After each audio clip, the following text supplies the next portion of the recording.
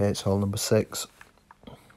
Um, it's quite a, quite an easy setup on this one. You got tailwind, so you can play this one with any driver. Um, I actually played maximum top spin with the Apocalypse level five, and I think you can wind that top spin back a little bit if you want. Um, set up on the right hand side of that island, and then maximum distance plus ten.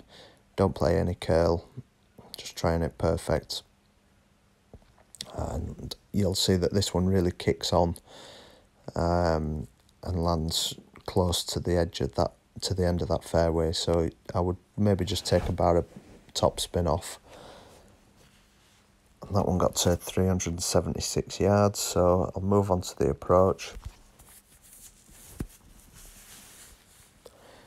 which I always play with left spin on this hole just to try and get up to the top of that green.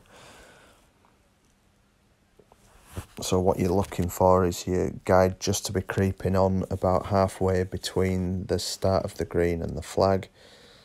And it's one of those that you can play it exactly the same 10 times and get 10 different results. Um, with this one I set the ball guide just a bit too close to the flag.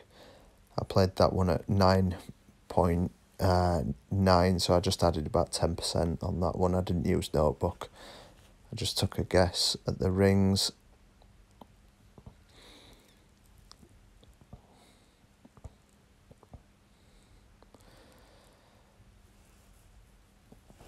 And it fell just short, and I mean, I could, I could, I could play that same shot again, and it could go in. I could play it exactly the same, and it could go too far. It's just one of those that it either goes in or it or it doesn't. Um, it's really difficult to dial in, but that one wasn't far away at all. So uh, plus 10 with your guide short of the hole, just short of the hole.